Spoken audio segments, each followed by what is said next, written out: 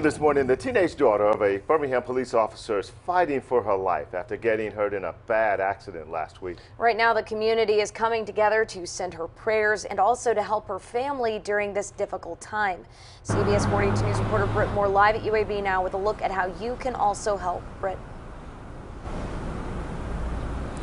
Yeah, Lee and Art, the community really lifting up this family after a tragic and horrific crash last week. 16-year-old Chloe Brashears lost control of her car and suffered some serious brain trauma. Now, since then, Chloe has undergone two emergency brain surgeries. Her family and friends are going through so much right now and trying to process the unthinkable.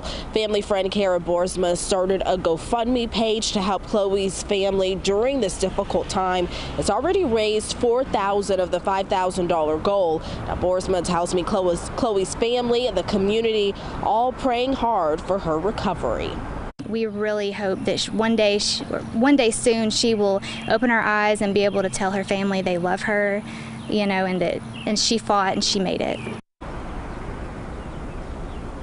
Another family friend and fellow officer who owns Southern Anchor Designs and Boutique has designed Pray for Chloe t-shirts and bracelets, proceeds benefiting the family. We will have information on how you can donate and either purchase the t-shirts and bracelets or donate to that GoFundMe. That'll be online at cbs42.com. In the meantime, family and friends are asking for your prayers. For now, we are live in Birmingham this morning. Britt Moore, CBS 42 News, local coverage you can count on.